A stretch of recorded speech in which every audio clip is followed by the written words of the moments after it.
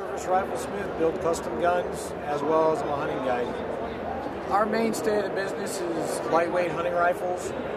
Um, I've been doing it for quite a long time. Picked it up from my father when I was young. Uh, we're doing some long range stuff now. And again, we've been doing it for quite a long time, so you know, I've got a lot of experience that goes with it.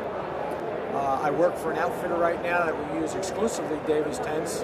Um, love them. Work good.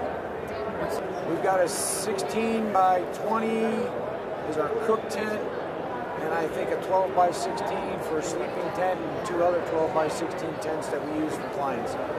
I've personally used some of their packing equipment over the years. I've known the Davis family for about 20 some years now.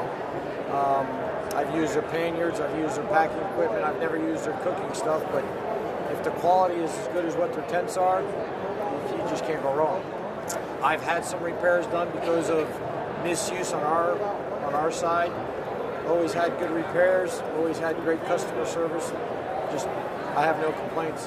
Can't ask for anything more, can you? No, no, not not in the industry.